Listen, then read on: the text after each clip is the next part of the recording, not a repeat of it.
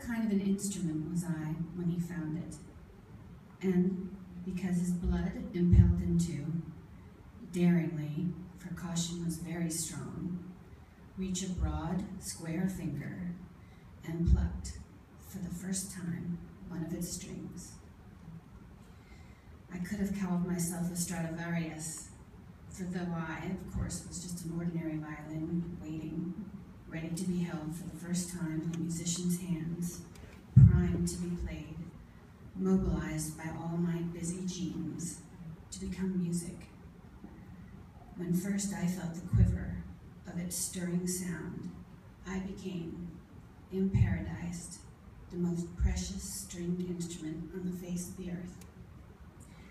After all those years of lying in that curvaceous coffin of a velvet lined violin case, snapped shut, unborn, but fully contoured, waiting to emerge and breathe to make my destined music, one day he came and dared to pluck a string. What kind of an instrument was I when he found it? And because his blood impelled into, daringly, for caution was very strong, reach a broad, square finger and plucked, for the first time, one of its strings.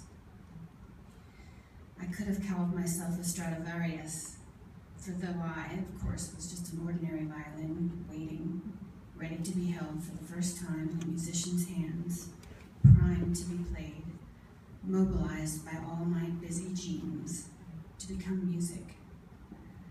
When first I felt the quiver of its stirring sound, I became, imparadised, the most precious stringed instrument on the face of the earth.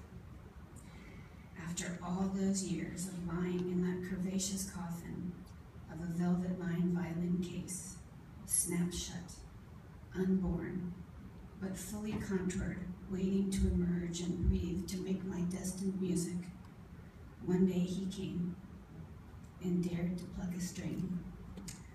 Life made its first whole sound. Ooh.